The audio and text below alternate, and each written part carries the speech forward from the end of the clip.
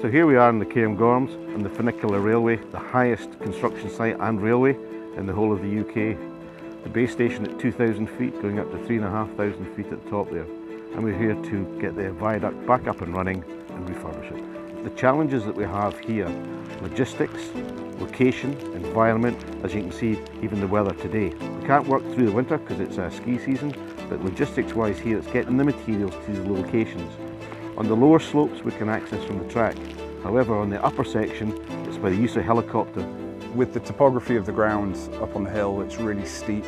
It's a protected habitat as well. So any vehicles that go onto the ground can create damage to the ground. So using the helicopter, it's great access. It minimises the impact um, on the habitat on the hill as well. We're really lucky to be working in such a pristine environment in this national park here in Scotland, so as a result we need to make sure we respect it and introduce our environmental control measures. So we have lots of different measures in place. We have specialists that advise us on the species in and around the hillside and then for our works ourselves they're planned to cause minimum disruption.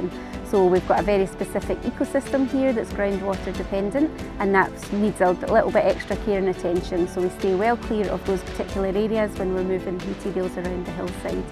Watercourses crisscross the mountainside as well, so it's important that we do regular checks on those. And by putting these measures in place and by planning them early in the works, it means that we can really preserve this amazing environment. The SCAPE framework's been really beneficial. Um, it's allowed McGowan's and Balfour Beatty to collaborate at the front end planning phase of the project, identify the scope and the issues contained within the project and apply our methodologies. The advantages of being a local contractor are that our um, employment pool is local, um, so it means that we have a fundamental understanding of our local environment um, and we take a sensitive approach to the works in the mountainous uh, landscape. All our guys are well trained, they understand environmental sensitivity and how things should be executed in terms of methodology. Cairngorm Mountain should be regarded as a national asset for Scotland. It's really, really important for the Badenoch and Strathspey economy. It's important within the Scottish mountain economy both in terms of snow sports and during the summer.